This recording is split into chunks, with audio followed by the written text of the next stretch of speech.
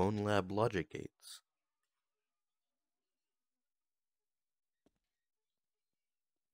Here we have the AND gate.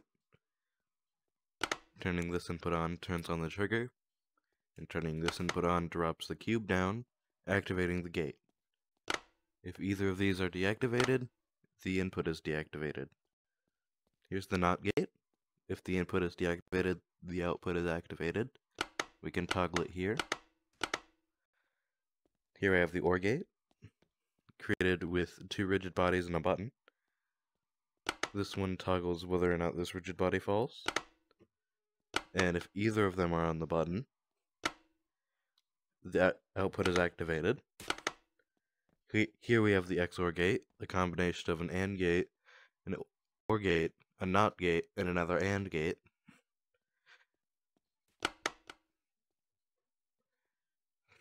If one of the outputs is selected, then the input then the output is on.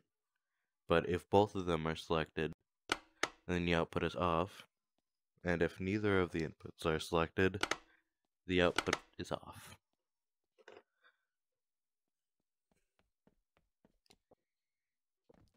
Here we have the full adder. The circuit diagram is here, and the truth table is here. One button means that sum is activated, two buttons is C out, and three buttons is sum.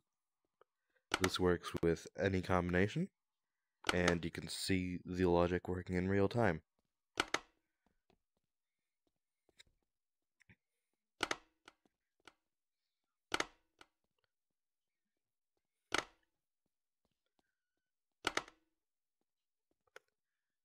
I might make a 4-bit adder, like a 6-bit adder by chaining a few of these together.